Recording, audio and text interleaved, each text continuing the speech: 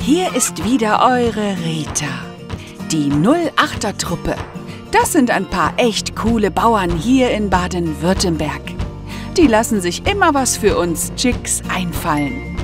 Das beste Projekt ist die Huhn- und Hahn-Initiative. Wisst ihr warum? Bei der Huhn- und Hahn-Initiative werden in der Legehennenhaltung auch männliche Küken großgezogen. Das ist etwas ganz Besonderes, denn die männlichen Küken werden normalerweise direkt nach dem Schlüpfen getötet. Stellt euch vor, alleine in Deutschland jedes Jahr bis zu 45 Millionen getötete Küken. Ich erkläre euch, wie es dazu kam.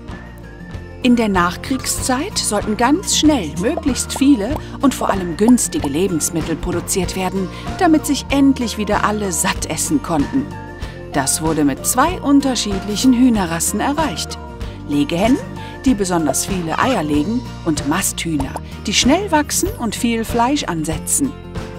Ein Hahn aus der Legehennenhaltung braucht einfach viel mehr Zeit, um zu einem guten und schmackhaften Hähnchen heranzuwachsen. Das soll sich jetzt ändern und ich erkläre euch wie. Die Bauern der Huhn- und Hahn-Initiative ziehen bewusst immer mehr Hähne aus der Legehennenhaltung groß. Wir Legehennen unterstützen das mit unseren Eiern.